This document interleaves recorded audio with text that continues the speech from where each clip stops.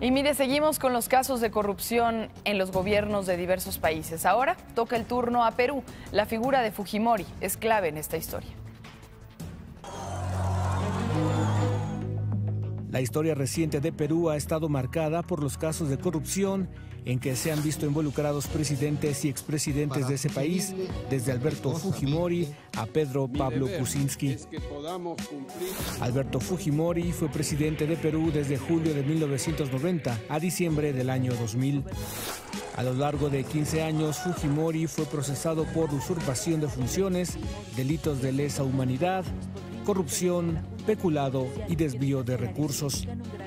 En total, fue sentenciado a poco más de 52 años de cárcel, pero el 25 de diciembre de 2017, el entonces presidente Pedro Pablo Kuczynski le otorgó el perdón.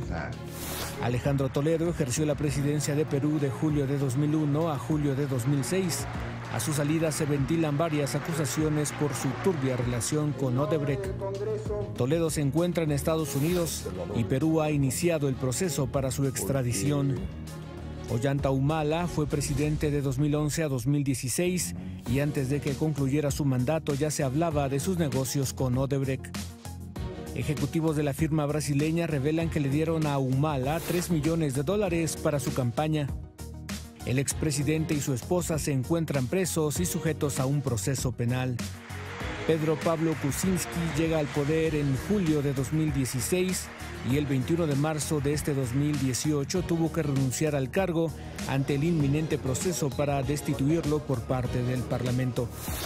Sobre Kuczynski también se cierne el fantasma de Odebrecht. Con información de Humberto Tapia, imagen. Imagen Noticias con Paco Sea, lunes a viernes 5.50 AM. Participa en Imagen Televisión.